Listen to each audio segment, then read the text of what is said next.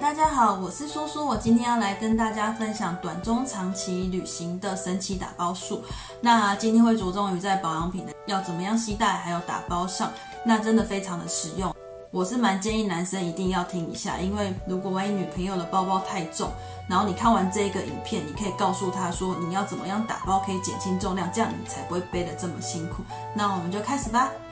因为每个人使用习惯不一样，那我这边会先提一下，说是一般的人他如果出去旅行，他会带些什么东西？那就是如果有化妆的人，他就会带卸妆的东西嘛，卸妆用品、卸妆油、卸妆水或者是卸妆棉。然后卸完妆一定会洗脸，所以要带洗面乳。洗面乳完之后就是要保养，那最基础的就是化妆水、精华液跟乳液。然后长头发的女生通常都还会再多带两样东护发乳，然后跟那个发油。那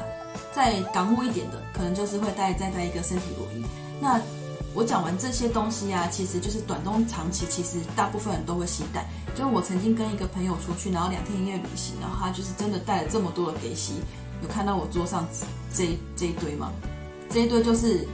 这一堆，他就是大概带了一半以上的东西，所以说就是非常的重。那其实保养品这种东西，它的设计一开始就是它的瓶装设计，基本上就是大概可以让你使用到一到两个月。那你只是去个两天，或者是去个十天，你带到这一整罐，实在是非常的重，然后又占你行李的空间。那你如果又是自己一个，你要扛着它的话，我是觉得很不推荐这样，因为这样会太累了。那所以说，在这个长期的、长期的保养品的携带上的话，我这边的大小，我会建议就是三周以上的人再去做这样子的选择。如果说你想要两周以上带，我觉得也是可以，但是就是你的，你要有一个觉悟，就是你会背着这这些东西去，然后再背着这些东西回来。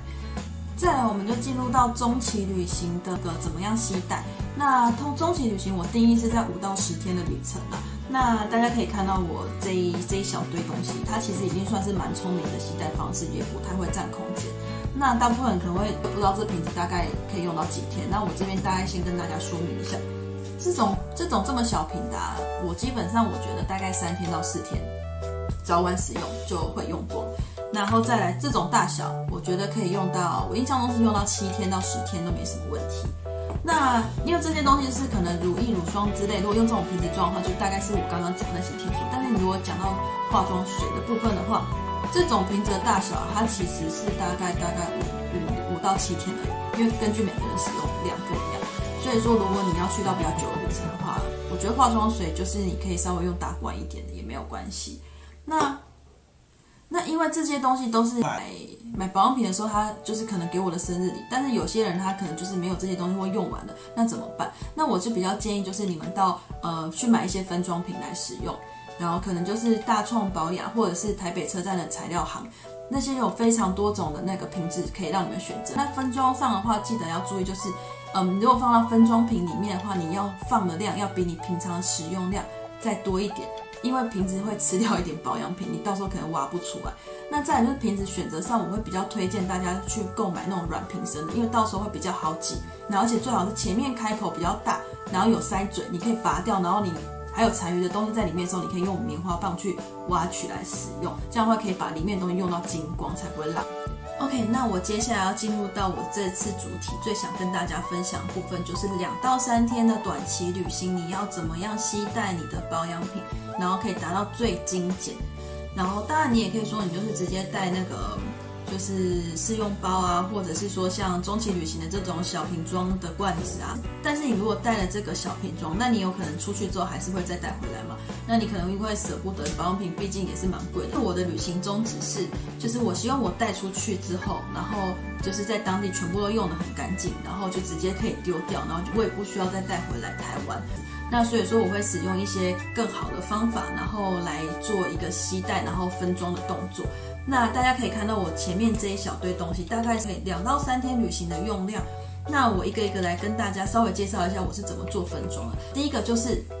隐形眼镜盒，它是一个非常好的分装瓶。我通常的一格会装那个洗面乳，然后另外一格会装乳霜。那基本上一格的分量，洗面乳大概可以用到七次，如果你整个装满。那如果乳霜的话，可以用也大概用到六次。那基本上比较易撞的东西，我就是不会装在这个里面的，因为我觉得它是会有比较卫生的问题。然后大家有看到我这桌上有这些日抛的隐形眼镜，我为什么我出去两三天我需要带这么多？他们其实已经不是隐形镜。我通常旅行前我会眼镜壳子，我会先留起来几个，因为这个都可以变成一次性的容器，然后我会觉得它非常的方便。像这种东西，我如果你要装，你也可以装精华液啊，然后跟呃你的粉底液，然后或者是你的 CC 霜、BB 霜都可以装，然后非常好用，一次就是一个用量，然后用完就即丢。所以非常的方便，在这个使用上的话，我觉得它更卫生，因为它用完一次就直接丢掉嘛，你也不需要就是可能一直重复的占据。但是在装的时候，大家还是就是要记得一个小原则，就是你要比你平常使用量再多装一点，毕竟它上面会有一些可能你没办法全部都挖出来。OK，然后再如果是水跟油的部分的话，这种容器都很不适合去装，因为毕竟它的流动性比较大，很容易洒出来嘛。那水的话，就是一定就是。最好就是带瓶子。那油的话，因为你如果使用瓶子装它之后，你之后很难清洗那个瓶子，那瓶子就没办法再重复使用嘛。那油的部分的话，我会蛮建议就是使用这种夹链袋，就装你需要的量就好了。那在使用夹链袋的话，基本上我就装好之后，因为装好之后把它收起来，再放到另外一个夹链袋里面，避免它到时候漏出来会影响到其他的地方。然后在这个夹链袋，你也可以就是装一些，比如说你的身体乳啊，然后或者是呃，或者是你的护发乳，然后甚至是你的卸妆棉，也都可以，就是直接可能拿一两片装在里面，因为毕竟你就只有去一两天嘛，或者是三四天，你的这个卸妆棉并不会干掉，所以这个都是非常棒的